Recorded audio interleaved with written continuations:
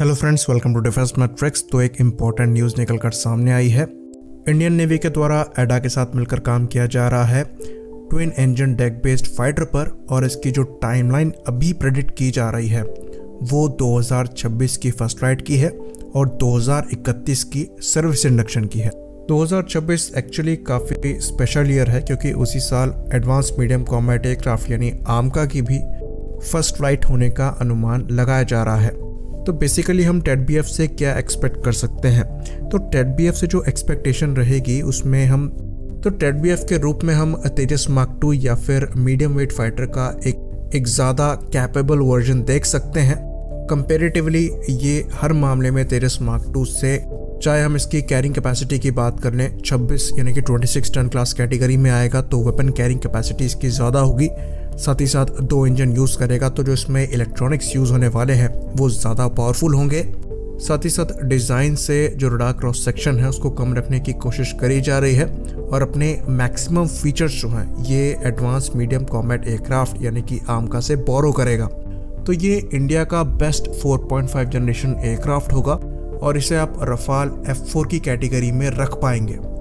तो यहाँ से ये चीज़ तो क्लियर है कि नेवी इस प्रोग्राम को बैक कर रही है। लेकिन क्योंकि नेवी यहाँ पर इस प्रोग्राम को बैक कर रही है, इसलिए जो नेवी द्वारा डेकबेस फाइटर के लिए RFI रिलीज़ करी गई थी, उसके अंतर्गत जो फाइटर देखे जा रहे हैं, उनके प्रोक्योरमेंट पर सवाल उठ जाता है।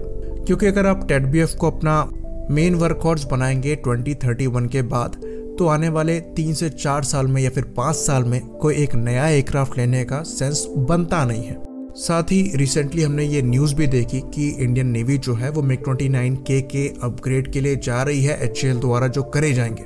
तो ऐसा लगता है कि इंडियन नेवी का फ़िलहाल जो फोकस है वो मिग 29 के पर ही है और फ्यूचर के लिए जो फोकस है वो टेट बी एफ़ पे लग रहा है, जो कि एक बहुत अच्छी बात है। लेकिन जो मिग 29 के के नंबर हैं, वो दो एयरक्राफ्ट कैरियर के हिसाब से सफिशिएंट नहीं है।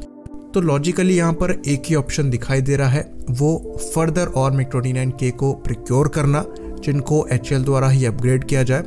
और इंडियन नेवी के दोनों एयरक्राफ्ट कैरियर से ये सेम एयरक्राफ्ट जो है, वो ऑपरेट हो सके। बाकी लिफ्ट का इशू तो एक है ही, लेकिन जो ट्वेंटी नाइन के है, वो आराम से फिट हो सकता है दोनों एयरक्राफ्ट कैरियर में। तो ऐसा कोई रूम नज़र नहीं आता है जहाँ पर रफाल और एफ़ की कैलकुलेशन फिट होती है।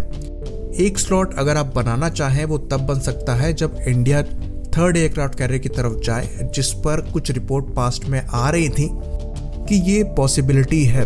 तो अगर तीन एयरक्राफ्ट कैरियर आप ऑपरेट करते हैं तो आपको 100 के अराउंड एयरक्राफ्ट की रिक्वायरमेंट पड़ेगी। या फिर दूसरी चीज़, अगर इंडियन नेवी अपनी एविएशन विंग को ज़्यादा एक्सपैंड करना चाहती है और जो लैंड बेस्ड बेसिस हैं, वहाँ से भी ये फाइटर को ऑपरेट करना चाहते हैं, तब भी यहाँ पर ज़्यादा एयरक्राफ्ट की रिक्वायरमेंट नेवी को पड़ सकती है। तो इन दोनों केसेस में एडिशनल एयरक्राफ्ट जिसमें रफाल या फिर आप F eighteen Super Hornet block three को कंसिडर कर सकते हैं, वरना प्रैक्टिकली अभी जो ऑप्शन दिखाई दे रहा है, वो फर्दर मिग 29 के के ऑर्डर ही दिखाई पड़ रहे हैं, क्योंकि नेवी जो है, वो अपना कमिटमेंट टेट बी एफ़ पर शो कर चुकी है। क्योंकि नेवी यहाँ पर इस प्रोजेक्ट को कम्प्लीटली बैक कर रही है तो अगर ये एयरक्राफ्ट जैसा प्लान किया गया है, वैसा निकल कर सामने आता है तो जिस हिसाब की टाइमलाइन यहाँ पर देखी जा रही है एयरफोर्स भी अपना इंटरेस्ट बाद में शो कर सकती है, इस पॉसिबिलिटी को हम नकार नहीं सकते। क्योंकि अभी तक तेरस मार्क टू को लेकर एयरफोर्स उतना ओपनली सामने नहीं आई है।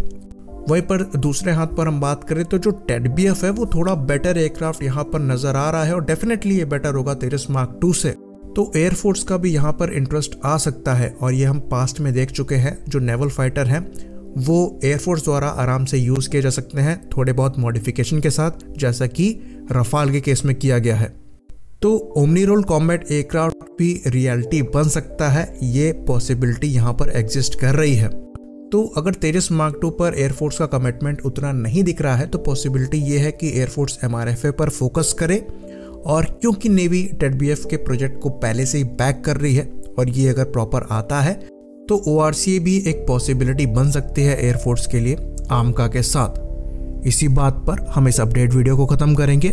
लाइक करिए सब्सक्राइब करिए। जय हिंद।